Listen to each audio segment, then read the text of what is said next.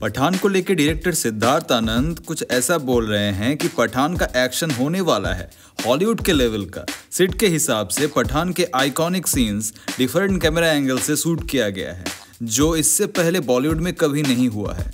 है ना, मज़े की बात?